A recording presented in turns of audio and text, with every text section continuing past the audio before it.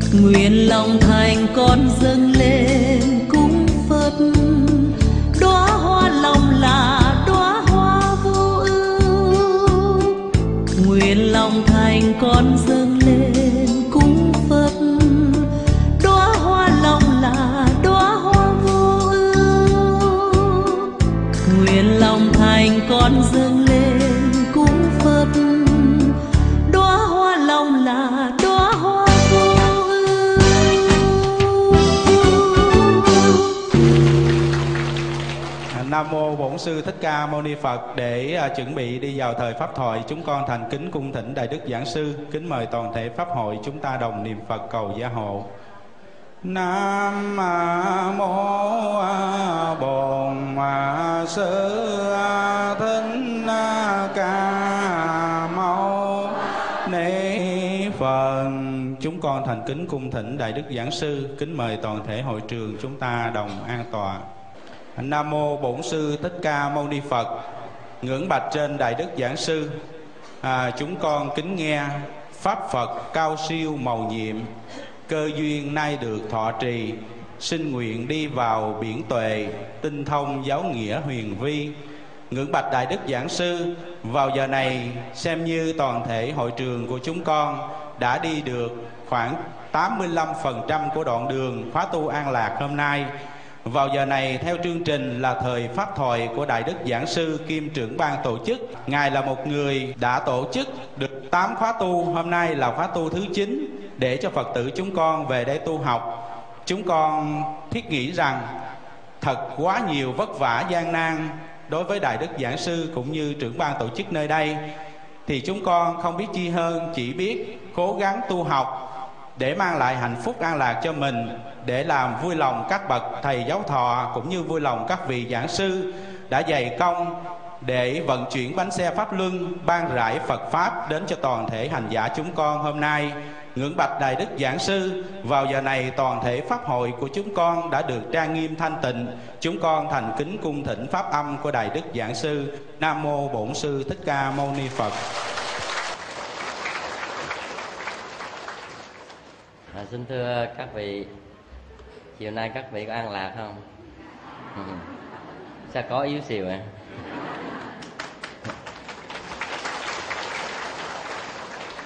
các vị an lạc mà tôi là bất an. Xin thưa các vị hôm nay tôi đến với tất cả các vị bài giảng của khóa tu. Là bài giảng tôi đã từng hứa. Đố các vị nhớ bài gì? Hử? Bài gì? Xin thưa các vị, nỗi niềm trăn trở của tôi xin được gói ghém qua bài giảng với chủ đề là đời còn gì đâu em? Ai gì đà phật.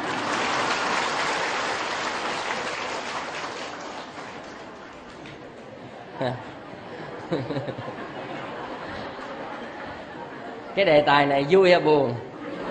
Ờ. Nãy giờ buồn rồi bắt đầu vui cũng, cũng không có gì buồn mà cũng không có gì vui. Tôi nói vậy cũng không có nghĩa là buồn. Mà bây giờ tôi nói như thế này cũng không hẳn là vui. À, xin thưa các vị đây là cái bài giảng tôi đã hứa với các vị là trong cái bài giảng mà phá thai và nghiệp lực á tôi có phân tích đến một góc độ mà tôi nghĩ là nó đã làm bàn qua một lãnh vực khác. Cho nên tôi có hứa với tất cả các phật tử là tôi sẽ chia sẻ cái ý này với các vị qua cái chủ đề là đời còn gì đâu em. Xin thưa thật với các vị, chúng ta hiểu cái từ này cho nó chính xác nha. Ừ. chúng ta đừng nghĩ chỉ em là mình nữa nha. Xin thưa các vị, tại vì sao vậy? Sở dĩ có bài giảng này là nó xuất phát từ những sự kiện thật của xã hội. Ừ. thật ra thời gian qua, tôi cảm thấy rất buồn cho thế sự dĩ nhiên đó là một quy luật của cuộc đời không khác hơn được.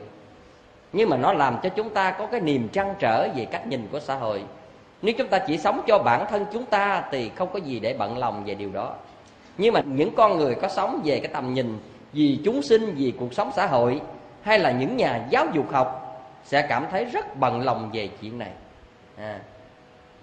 tôi mới cảm thấy lời phật dạy có ý nghĩa thâm thúy và giá trị hơn bao giờ hết so với thời đại này à. những lời dạy về từ bi, những lời dạy về năm giới trong là sát sanh, trộm cắp, tà dâm, nói dối, uống rượu, những điều đức phật dạy từ ngàn xưa về vấn đề đạo đức của người cư sĩ phật tử, về vấn đề tâm nguyện sống vì chúng sinh, vị tha, biết chia sẻ, nhường cơm sẻ áo đây là những lời có giá trị thiết thực trong cuộc sống hôm nay khi con người quá ích kỷ, quá gian tham, trộm cắp, tà dâm, tất cả mọi thứ, đến đội không còn tình nghĩa, không còn lương tri. Trong các mối quan hệ từ gia đình đến xã hội, thì đúng là cuộc sống này điêu tàn và bi đát. Vì vậy cho nên tôi nghĩ, để làm sống lại lời dạy của đức phật, để làm ảnh hưởng lời dạy của đức phật đến với quần chúng, mọi người, giàu trực tiếp, gián tiếp, giàu nhiều, giàu ít để nhằm xóa bớt đi những cái khoảng cách này và xóa bớt đi nỗi đau thương trong cuộc đời, thì lời Phật dạy hôm nay cần được ứng dụng và ứng dụng một cách rộng rãi để làm cho cuộc đời này con người chúng ta còn có hy vọng, còn có niềm tin. Xin thưa các vị, sau cái tin mà tôi đọc trên báo đó là một cái người tên là Lê Văn Luyện, chưa đầy 18 tuổi đó mà đã ra tay sát hại ba người và cắt đứt một cánh tay của một đứa bé 8 tuổi để cướp vàng. Tôi nói thật, một tháng sau đầu tôi còn vớ vẩn về chuyện này. Ừ. một con người chưa đầy 18 tuổi, tại sao có đủ khả năng, bản lĩnh và sự nhẫn tâm ở một góc độ là một mình có thể giết chết hai vợ chồng của chủ nhà? Một đứa con là hình như bao nhiêu tháng tuổi đó? À, 18 tháng tuổi. Rồi thêm một đứa con gái lớn là 8 tuổi. Đứt một cánh tay và xẻ một đường từ trán xuống dưới như thế này. Nhưng mà cháu đã được băng bó và cứu chữa và cánh tay đã được may mắn. 6, 7, 8 tiếng đồng hồ sau nhưng mà làm sao cách nào đó bác sĩ vẫn ghép lại và khả năng thành công. Tức là bàn tay có thể sống được. Có nghĩa là sự cử động nó còn bị giới hạn thôi nhưng mà trước mắt là thành công, tức là cái ca ghép đó. Sau cái tin này ở tại bắc giang, hà nội, tôi nói thật sự, đầu óc tôi choáng váng. Tôi bàng hoàng ở chỗ là cái độ tuổi này chưa đủ tuổi trưởng thành. Mà tại sao dám ra tay một cách tàn bạo như thế? Thông tin này chưa xong, thì lại ít hôm sau, chừng tuần, hai tuần sau thì tòa án nhân dân thành phố Hồ Chí Minh vào ngày 22 tháng 9 vừa qua tuyên bố là 18 năm tù với một người gồm ba tội danh giết người, hiếp dâm và cướp của cũng chưa đầy 18 tuổi. Tự nhiên tôi thấy khủng khiếp. Tại sao vậy? Cái anh chàng này chưa đầy 18 tuổi mà đã kết hôn trước đó khoảng gần 2 năm rồi. Hai vợ chồng cảm thấy cuộc sống khó khăn mới đi về nhà của dì Út. Ừ. Cái người dì thật ra kêu bằng gì nhưng mà chỉ có mới có 27 tuổi. À.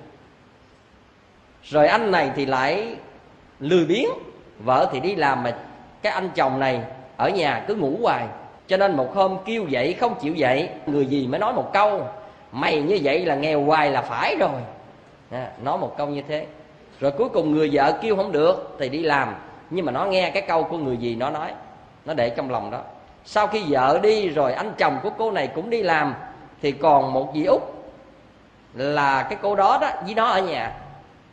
Sau đó rồi cô cô này đi vào trong phòng tắm, nó nằm ở trên gác. Nó biết được chuyện đó, cho nên nó dạch kẻ của cái trần nhà đó, nó xuống nó nhìn. Sau khi đó rồi á, nó kìm lòng không được, cho nên nó mới chạy đi xuống dưới. Nó lấy con dao, nó thủ sẵn bên ngoài cửa nhà tắm sau khi cô này tắm xong bước ra anh chàng kê dao vào cổ cô này. Anh nói câu như vậy hồi nãy bà nói tôi cái gì? Đó. Và anh nói như vậy rồi à, thì cô này la toán lên là có có có cái người hại cổ. Thì anh chàng này mới bóp cổ ngất xỉu. Sau khi ngất xỉu xong rồi anh ta lại làm việc tà dâm. Sau khi cô này lại tỉnh dậy cô ta mới chỉ vào mày là cái thằng yêu râu xanh gì đó mắng mỏ anh ta và anh ta nhào đến anh ta bóp cổ chết luôn. Sau khi chết luôn, chuyện gì xảy ra? Anh ta lấy hết nữ trang trong người của cô. Đồng thời anh ta chạy ra chợ mua cái thùng xốp về. Anh ta chặt ra từng đoạn từng đoạn từng đoạn như vậy. Bỏ vô cái thùng xốp, bắt đầu đóng kín lại. Anh ta kêu xe ba gác, chở ra bến xe miền tây, đem chở về vĩnh long để phi tang. Khi về tới vĩnh long, anh ta kêu xe chạy ra cái cồn của vĩnh long á thì một chiếc xe chở thùng xốp, một chiếc xe tở anh ta. Và khi anh ta đặt cái thùng xốp đó ngoài cồn thì cái người mà chạy xe honda ôm hỏi là anh là cái thùng gì? Anh nói đó là thùng thịt rừng. Anh hẹn như người ta đến đây lấy. Nhưng mà sau khi nói rồi anh ta bỏ đó rồi anh ta kêu xe chạy đi. Mà không có ai hẹn ở đó cả. Vì vậy cho nên anh xe ôm ảnh mới nghi ngờ. Cho nên một anh thì chở anh này đi ra cầu mỹ thuận, một anh thì quay trở lại mở coi khi người ta mở ra tá quả tâm tin là một người con gái bị chặt thành từng khúc như vậy. Cho nên anh ta mới điện thoại báo với anh bạn mình là cái thằng này nó là có vấn đề. Cho nên anh ta mới bị chặn bắt tại cái chốt của cầu mỹ thuận. Và cuối cùng sự việc lỡ ra. Đúng ra nếu anh ta đã đủ 18 và bước qua 18 tuổi, tội này phải tử hình. Giết người, hiếp dâm, cướp của. Nhưng mà vì anh ta chưa đầy đủ 18 tuổi, cho dù gia đình có bức xúc cách mấy vì phải tôn trọng pháp luật, cho nên xử tối đa của anh đó là 18 năm tù, tức là mức án cao nhất của những người chưa đủ tuổi thành niên. Xin thưa các vị, điều này xảy ra làm cho mọi người rất bức xúc. Chuyện của lê văn luyện cũng là chừng ấy. Cũng chưa đủ 18 tuổi, còn mấy tháng nữa mới được 18 tuổi, đang làm đau đầu những nhà làm luật và mọi người, công dân chân chính trong xã hội này và xin thưa, việc đó để dành cho luật pháp. Nhưng mà ở đây tôi nói thật, tôi trăn trở và đau đầu, tôi không phải là tư duy về việc đó. Nhưng mà tôi đau lòng nhất là tại sao hôm nay phạm pháp nghiêm trọng mà ở độ tuổi, chưa đủ tuổi trưởng thành không? Là tại vì sao? Tôi không trả lời được những ngày tháng đầu tiên về điều đó. Tôi cứ ôm trong lòng tại sao tại sao? Có những lúc tôi nói thật với các vị, tôi có sự quyết định như thế này, tôi muốn bỏ hết tất cả ngay giờ phút này tức là tôi có suy nghĩ, tôi nghĩ là đi vào một rừng núi nào đó, chắc mình cất một cái am thất nào để sống một cách đơn giản, để tránh hết tất cả bao nhiêu thấy nghe nhìn của xã hội này. Và mình ở đó, mình mình trồng trặt mình ăn, mình sống đơn giản qua ngày, chắc là mình nghĩ hạnh phúc hơn. Trong khi ở cuộc sống xã hội, quá nhiều điều để làm cho mình mất niềm tin vào sự cải hóa của xã hội rồi. Nếu mà xã hội cứ xảy ra những chuyện như thế, chúng ta cảm thấy hoang mang và mất phương hướng vào xã hội này hết tin ai? Và bây giờ bản thân con người chúng ta sống như thế nào? Ngày đêm và mỗi người, chúng ta không còn một cái ổn định trong tâm hồn nữa. Chúng ta thấy mất phương hướng rõ ràng. Và vì vậy cho nên thật ra muốn trốn khỏi cuộc đời, có thể tôi nghĩ như vậy, các vị nghĩ là tôi bi quan. Xin thưa các vị, nhưng mà dầu thế nào đi chăng nữa, câu trả lời tôi chưa đáp án được, thành ra vì vậy tôi phải bi quan rồi cuối cùng tôi ôm trong lòng những cái suy nghĩ vớ vẩn. Còn bao nhiêu tuổi trẻ vị thành niên lại rơi vào trong những trường hợp này nữa? Và cái nhân tố nào, vì nguyên nhân nào nó đưa đẩy con người đến giết người cướp của và nhiều chuyện dâm loạn? Một cái cách mà phi lý như vậy.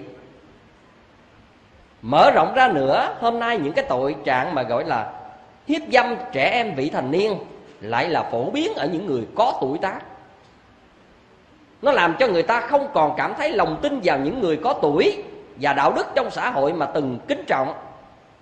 Việt Nam chúng ta từng kính trọng những người có tuổi tác kính lão đắc thọ. Cho nên ở đây một vài trường hợp xảy ra Rồi mai này chúng ta nhìn như thế nào với những người có tuổi tác mà chân chính khác? Chúng ta cũng cảm thấy rất nghi ngờ. Các vị có cảm thấy an tâm khi giao con cho những người đó Hoặc thậm chí gia đình chúng ta có con gái 9-10 tuổi, 5-7 tuổi Chúng ta có yên tâm khi một ai cậu chú ông bà ở hàng xóm đó, Qua chơi thường xuyên như vậy hay không? Làm cho chúng ta mất đi niềm tin và phương hướng hết trơn hết rồi nó làm xáo trộn một cái điều gì mà tôi cảm thấy nó khủng khiếp trong lòng. Cho nên tôi cứ cứ vớ vẩn những cái này ở trong lòng. Rồi một hôm, tôi cũng có được câu trả lời. Tôi xin trả lời cho các vị cái đáp án này ở một vài góc độ mà theo nhận thức của riêng tôi xin thưa các vị một buổi chiều tôi đi công việc về đó, đi ngang qua các dãy phố ừ. thì khi lúc đó trời cũng là chạng vạn tức là mặt trời cũng là sụp xuống rồi bóng hoàng hôn đã ngã rồi đó à. thì lúc đó thì sao khi thành phố lên đèn à. lãng mạn chút ha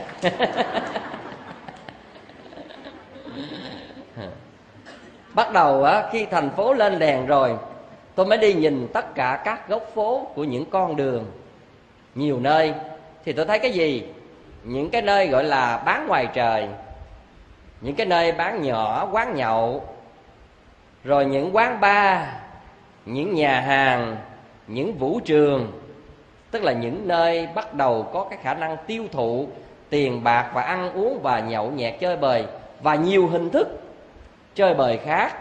Bắt đầu có đèn lên, có tiếng nhạc lên và bắt đầu phần lớn những người dựng xe bước vào đó nhìn thấy độ tuổi dường như không lớn lắm. Ừ. những cô gái choi choi rất nhiều, những chàng trai choi choi tuổi cũng rất nhiều. Đi vào những nơi như thế để vui chơi. Và tôi hỏi những người cùng trên xe, nếu chúng ta vào đây ăn một bữa tiệc hay là vào đây trong vũ trường này, những chai rượu, những món ăn, những điều mà sinh hoạt vui chơi ở đây như thế, thì tiền như thế nào? Thì các vị nói là soàn soàn cũng cỡ 500 trở lên. Soàn soàn 500 trở lên như vậy thì cái câu trả lời của chúng ta ở chỗ là, một công nhân bình thường mỗi một ngày lao động từ sáng đến chiều vất vả, được bao nhiêu? Tối đa là 200 ngàn thợ hồ cho đến tất cả các thợ khác, công nhân khác bình thường làm ăn chân chính và lương thiện. Tối đa trong một ngày làm việc mà để có được tiền 200 ngàn là tối đa, còn ở mức độ một trăm rưỡi, một trăm hai, một trăm ba, thậm chí một trăm ngàn. Như vậy thì nếu chúng ta để có tiền bước vào những cái này, thì chúng ta phải lao động bao nhiêu ngày? Cái đó gọi là tầm cất thấp nhất mà nếu chúng ta muốn ra tay anh chị, thì chúng ta phải bỏ ra từng vài triệu đồng trở lên. Chúng ta mới được đáng mặt anh chị với bạn bè của chúng ta. À. thì như vậy, nếu có được từ một triệu đến hai, ba triệu, mới có một bữa tiệc, mới có đáng mặt với bạn bè, mới được gọi là đại ca, mới là những người biết sành điệu, mới ăn chơi, mới chơi sợp ở độ tuổi còn 15 17 muốn ra cái cái nghĩa hiệp anh chị bằng cái cách đó thì tiền ở đâu ra? Tiền đâu ra? Xin cha mẹ hoài thì không thể được. Chắc gì cha mẹ có tiền của dư giả. Nếu những người nhà cửa khá giả thì cái chuyện đó là một phần.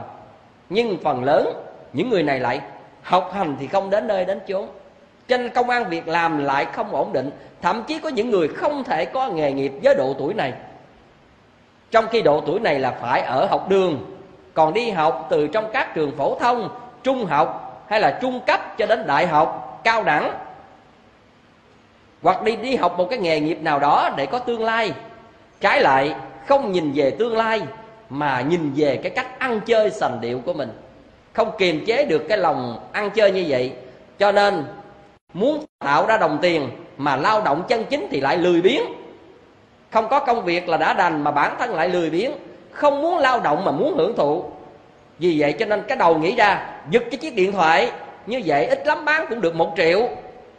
Thay vì mình làm như thế này 10 ngày chưa chắc gì được một triệu. Bây giờ đi giật cái được chiếc điện thoại như vậy, tối nay mình có thể làm một chầu tới một triệu ngon lành. Vì vậy cho nên, để có tiền, phải nghĩ ra những cái bậy bạ như vậy. Rồi, muốn có những cái bữa tiệc lớn hơn, phải có những đồng tiền lớn hơn từ từ nó mới dẫn đến cái vấn đề ăn trộm, rồi đi ăn giật, rồi thậm chí cuối cùng đi ăn cướp. Đầu tiên không nghĩ cái cách là gì ác, mà vì không kiềm chế được bản năng tham dục của mình, từ ăn chơi cho đến tất cả mọi thứ khác. Cho nên không làm ăn lương thiện chân chính bằng sức lao động, bởi vì làm như vậy biết bao giờ đủ tiền cho cái chuyện ăn chơi của mình. Ở bên ngoài quá nhiều cái nhu cầu để tiêu thụ mà bản thân kiếm tiền lại rất khó. Buộc lòng những tuổi ăn chơi phải lao vào tội lỗi như vậy. Câu trả lời đầu tiên lé lên được trong đầu tôi, tại sao nhiều tội phạm xảy ra ở độ tuổi vị thành niên ở chỗ là cái đồng tiền mà nó dẫn đến tất cả những cái này?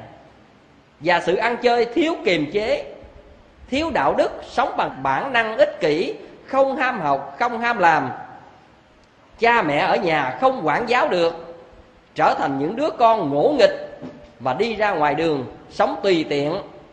Nên mới có những cái chuyện này xảy ra như vậy. Đó là câu trả lời đầu tiên của tôi khi thành phố lên đèn, nhìn tất cả, nó đã trả lời được cho tôi tại sao dẫn đến giết người cướp của bằng những cách như thế này. Đó là ý thứ nhất.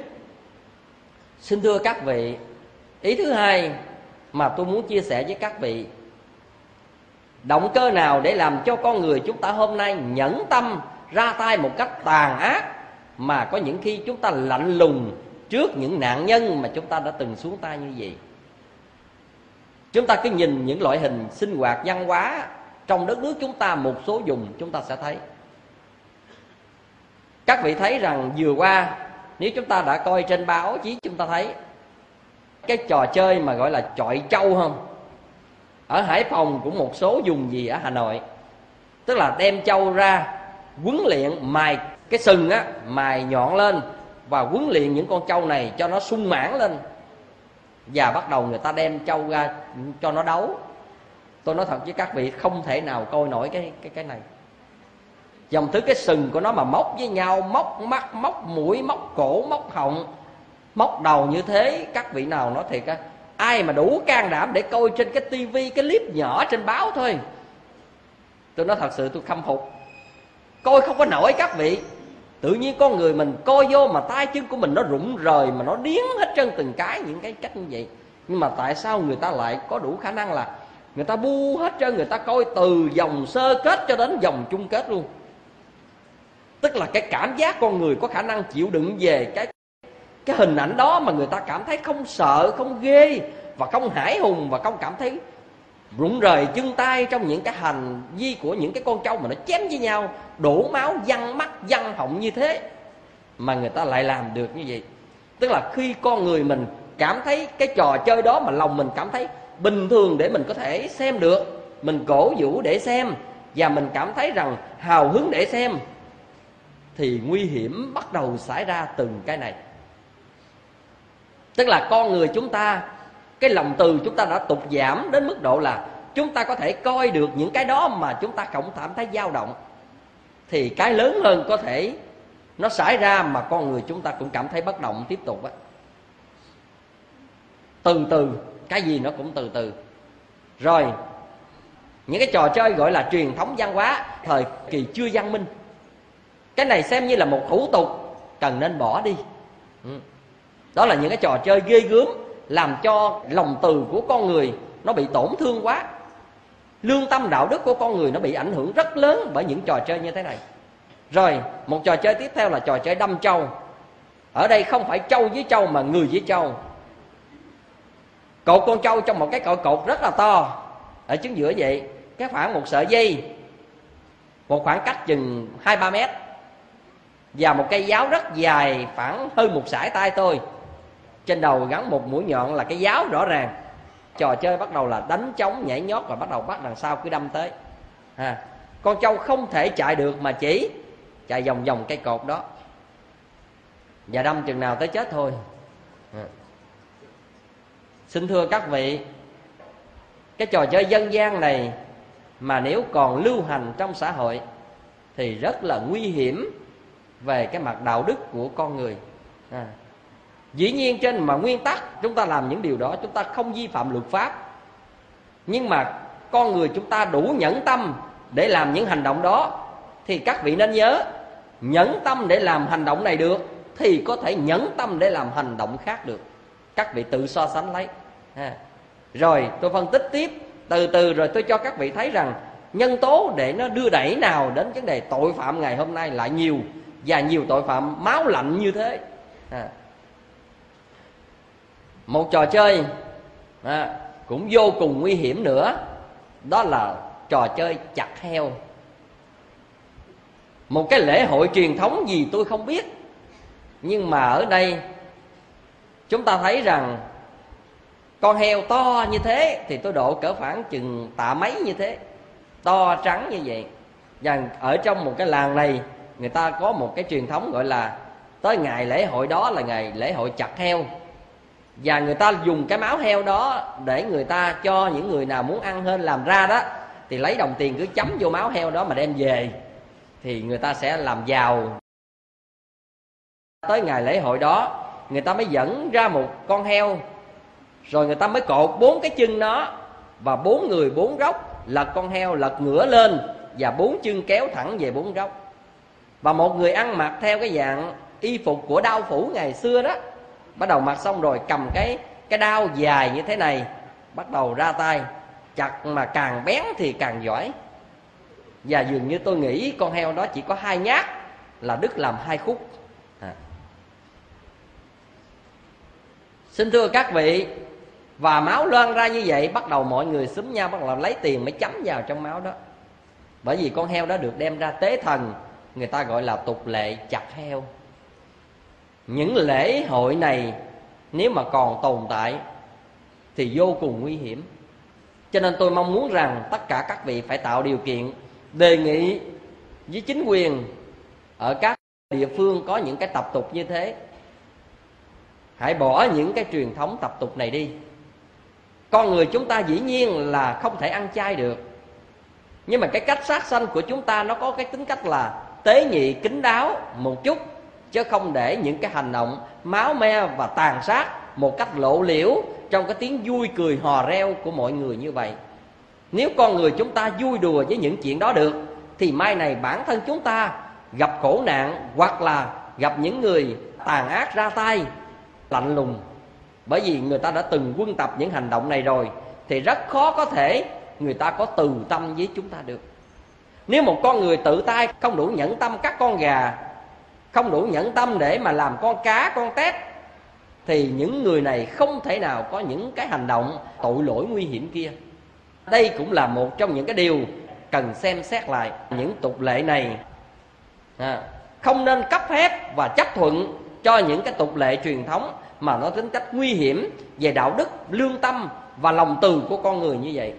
Không nên đối xử với động vật một cách nhẫn tâm và tàn ác như vậy chúng ta vô tình chúng ta cho những hình ảnh này cứ quân tập vào trong trí não của những giới trẻ, tuổi vị thành niên hoặc những người trưởng thành. Thì cái sự hung hăng, tàn bạo, nó đã được in trí và nhẫn tâm này càng ngày con người với con người càng lạnh lùng hơn. Đó là hai điều tôi muốn nêu ra. Tôi nói rằng những động cơ để dẫn đến cái chuyện đó cho các vị thấy nó là như vậy. Một cái việc nữa mà các vị cần để ý đó là cái gì? Những loại phim bạo lực trong xã hội. Khi mà tất cả những bộ phim này được trình chiếu và những cái người khác đều mua về xem, tuổi nhỏ về cũng xem, lớn về cũng xem, những hành động ra tay máu lạnh như vậy, mặc dầu nó đóng phim, nó bắn, nó giết, nó chém, con người như là chém thú vật vậy đó, bình thường. Thì những người đã từng xem những cái phim hành động một cách ghi gớm như thế, thì mai này nó sẽ trở thành cái sự quân tập trong giới trẻ vô cùng nguy hiểm cho nên các vị thấy tại sao hôm nay những giới trẻ 15, 17 tuổi nó tập thành nhóm nó có mã tấu nó có thể có tạo súng riêng và nó từng đem từng nhóm này nó chém lộn nó xả với nhóm kia. Đụng chuyện gì một cái nó lôi một đám đi ra để nó xuống tay mà cảm thấy rằng không có từ tâm chút nào. Có thể chém chết người có thể giết người bằng những cái hành động đó. Nó làm y chang như tất cả những bộ phim hành động đã từng có. Cái này tôi nghĩ các bộ phận về văn hóa thông tin nên cấm lưu hành những cái loại phim như thế này. Không để đầu độc những giới trẻ bằng những cái hành động ghê gớm tàn bạo như thế. À, đó là những câu trả lời của chúng tôi bắt đầu được giải mã từ lần từ lần. Tại sao hôm nay có nhiều tội phạm ghê gớm máu lạnh và ra tay một cách tàn nhẫn như thế từ những cái phát triển của xã hội? Ở góc mặt trái của sự phát triển này tại sao? Chúng ta hãy tự trả lời được tiếp theo nữa là một phần văn hóa ẩm thực của chúng ta. Trên cuộc đời này, tất cả chúng ta là phần lớn đều ăn mặn. Gà, vịt, trâu, bò, heo và các loại hải sản và các loại cá biển và một số loại khác nữa là thực phẩm chúng ta từng quen dùng. Đó là cũng là chuyện bình thường trong xã hội. Ở đây không nói về vấn đề tốt, xấu, tội phước gì trong đó, nhưng một số cái cách ăn nó hơi tội quá bây giờ tôi nói với các vị, ăn như thế này. Các vị ở đây ai cũng đều biết con mực ống, đúng không? Mực mà ở đầu nó có cái tua cái tua như thế này nè. Mà mực này không lớn lắm, chắc là cỡ khoảng cùm tay tôi như thế này. Nhỏ hơn chút xíu. Rồi các vị biết người ta muốn ăn con mực đó, người ta làm gì? Người ta cầm cái dao chừng gan tôi mà nhỏ xíu vậy nè. Đó, mà người ta rất là hay nha. Người ta bắt con mực lên, người ta để ta gạch một cái một á là nó đã người, người ta gặp cái gì người ta dít cái đó là nguyên cái bộ ruột bên trong với nguyên cái cái đầu với cái cùi khóm đó là đi ra một cục như thế này ha. Rồi phần còn lại người ta thái từng nhỏ nhỏ người ta bỏ vô trong mì và cái đầu đó người ta chỉ cắt ngang cái đầu như cùi khóm vậy đó. Người ta cắt bắt đầu người ta để vô tô mì đó. Cái đầu này hoàn toàn còn ngoa ngoe và sống. Nhưng mà khi đến ăn các vị mới thấy ghê gớm nữa. Khi chuẩn bị ăn rồi thì người ta mới lấy cái cái chén nước sốt chuẩn bị lớn vậy nè chén đó tôi nghĩ chắc là chén tương ớt hay là hay là xả tế gì đó. Ừ. người ta mới lấy cái chén này. Người ta mới chế vô trong đó. Các vị biết cái gì không? Những cái tua mực này bắt đầu nó bún nó bún nó bún nó bún như vậy. Mà người ta chỉ chế vô vậy, bắt đầu người ta ăn ăn tươi như thế. Xin thưa các vị, cái tô mì mà ăn như thế, giá rất cao tôi cảm thấy rằng ai nuốt được cái tô này cũng khen hay. Các vị biết rằng người ta mà con mực mà còn bún chừng nào là người ta cảm thấy người đầu bếp đó giỏi. À, giết rồi á mà cái đầu mực này người ta chế tương ớt vô mà nó bún để người ta cảm thấy vui thú trong bữa ăn trong tô mì đó. Người ta cảm thấy rằng hài lòng. Những cái bữa ăn như thế các vị cảm thấy thế nào? Quá ghê sợ.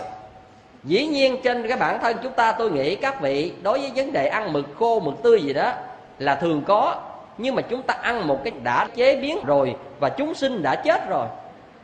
Không ai có thể bỏ vào họng mình nhai những cái loại mà nó ngon nghe trước miệng mình như thế. Ừ.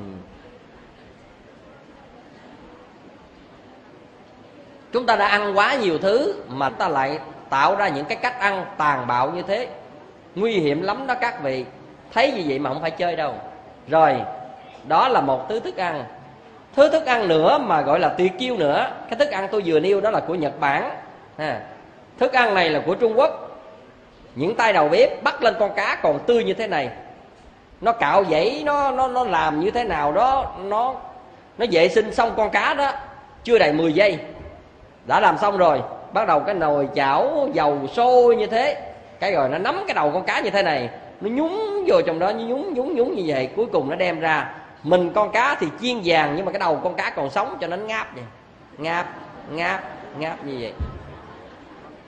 Điêu luyện chưa? Và tất cả mọi người khi dễ ăn mà con cá nó ngáp ngáp như vậy, người ta khen tặng rằng đầu bếp giỏi. Và người ta rất là hào hứng và vui vẻ. Khi vẽ một miếng ăn là con cá ngáp một cái, nhúc nhích con cá là con cá ngáp một cái vậy mà chúng ta vẫn vui đùa và chúng ta ăn bình thường. Ừ. Rồi, ở việt nam chúng ta chắc là bây giờ luật pháp đã cấm. Nhưng mà trên nguyên tắc thì vẫn còn, nhưng mà không phổ biến như trước kia, đó là ăn ốc khỉ. Ừ. chúng ta nhớ kỹ rằng, khi người ta có cái một cái lồng như thế này, và người ta khoét một cái lỗ chừng bi lớn như thế này để đủ cái đầu con khỉ mà nó ló lên được cái cái cái sọ nó giống như trái dừa mà chúng ta dạt nó còn cái mặt vậy đó. Rồi cột chặt cái con khỉ dính vô trong cái lồng đó. Rồi bắt đầu ở đây cái dao đồ hoàn toàn chanh rượu gì đó đồ ăn chuẩn bị sẵn sàng. Thì cái dao này người ta dạt một cái giống như dạt mặt dừa. Thì cái ốc khỉ nó nhúc nhích nhúc nhích như thế này. Và con khỉ ở dưới chí ché và nhảy nhót ở dưới vậy, máu lan tràn và người ta chỉ cần điều là người ta cứ cười vui trước hành động dãy dụa của con khỉ, và người ta mới nắng, nặng chanh vô trong đó. Và mỗi người có một cái muỗng nhỏ tự múc, giống như múc dừa mà ăn. À. tôi nói thật với các vị, nếu những hình ảnh tôi vừa nêu mà còn diễn biến trong xã hội tiếp tục của chúng ta, thì đừng mong rằng chúng ta sống trên cuộc đời này có những ngày yên ổn chúng ta đừng xem đó là món ăn, chúng ta đừng xem đó là chúng ta không vi phạm luật pháp. Nguy hiểm vô cùng. Những cái văn hóa tục lệ mà giống như tôi vừa nêu, với những trò chơi vừa rồi với các vị. Những cái bộ phim bạo lực được lưu hành như thế, những cái món ăn là như vậy, thì chúng ta nên nhớ, chúng ta đừng hòng có một chuỗi ngày tương lai hứa hẹn được hạnh phúc và an lạc.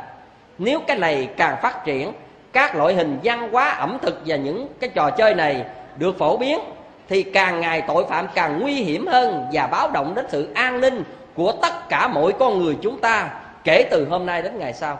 Không có một hứa hẹn nào để gọi là tốt đẹp hơn với quá khứ cả. Chúng ta nên nhớ vậy, ngày xưa đôi khi chúng ta không giàu có như bây giờ, nhưng chúng ta sống rất hạnh phúc và an lạc. Chúng ta ăn một chén cơm cảm thấy bình an, mặc chiếc áo cảm thấy bình an tối về nhà đóng cửa ngủ, cảm thấy bình an. Nhưng bây giờ chúng ta có người canh, nhà chúng ta tường cao kính cổng, thậm chí chúng ta có nhiều lớp bảo vệ, nhưng chưa chắc chúng ta bảo vệ được mình an toàn. Tại sao vậy? Tại những cái này nè. Tại những cái cách sinh hoạt và tâm địa con người chúng ta đã thấp đến một cái mức chúng ta có thể sử dụng những nhu cầu ăn uống và những loại hình nghệ thuật như thế thì làm cho cái con người chúng ta nó mất bình thường đi. Và nó trở nên một cái gì? Cho nên hôm nay có nhiều kẻ nó rất là kỳ. À, cái đầu óc không còn bình thường như bao nhiêu người khác nữa. À, có những người đầu óc bệnh hoạn cứ tối ngày trong lòng cứ nghĩ rằng cứ tìm đối thủ để giết người như vậy. Cho nên ở mỹ tại sao có những người mà sắm súng đi bắn người hàng loạt rồi đi tự sát lấy chính mình? Chuyện này xảy ra